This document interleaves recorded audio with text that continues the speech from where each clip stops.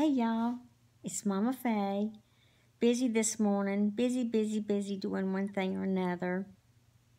And um, my sweet little poodles helped me get through some really rough times. And I uh, uh, took them yesterday to have their teeth cleaned.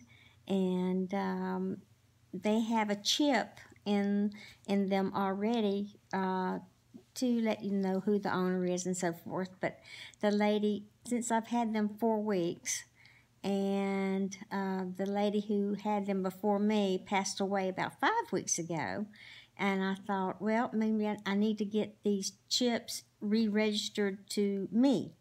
Um, since I was having them, uh, you know, their teeth cleaned, I wasn't sure that they even had um, little chips in them, but they do.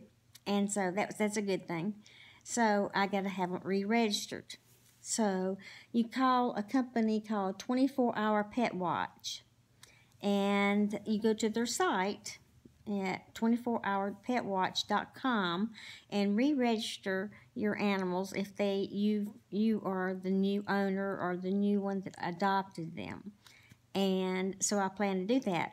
The funny thing is, I found out that the gray one, who I call Katie, and she's five, her name, original name was Venus, which I would have never, thought of that name. And then the uh, tan or the cream colored one, uh, the mama, who is seven, uh, her original name was Lady. And uh, she is now Heidi.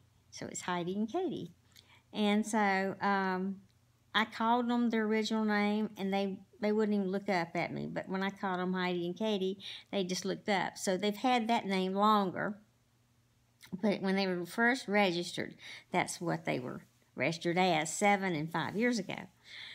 Anyway, gonna uh, print out a little application, take it to my vet, and they will say, yes, this is this is uh, Momma Faye's puppies, and we can go on from there to re-register it so that if anything were to happen and they get lost, it'll be in my name. Thank goodness. Uh, don't want them to get lost or get hurt or anything. Oh, uh, unconditional love. Let me tell you, uh, it's sort of like me. I'm unconditional love. Uh, I love you too, forever and ever.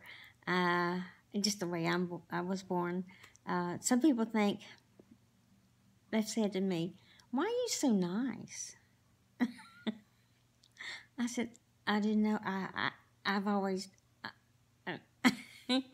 well, I wake up like that, and I go to bed like that, and I, in between, I, I, you know, I've always tried to be as kind as possible, but it just comes natural to be nice. I don't know. Some people just don't have it in them. I'm, and that's why I try to stay around positive people, not negative, because there's so many negative people.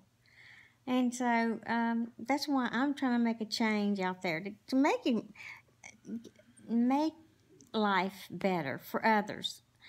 Find something good today, folks, and find something good in everyone today. Every person you meet, even if it's the mailman find something good. Ooh, ah, hmm. Well, I like his shoes.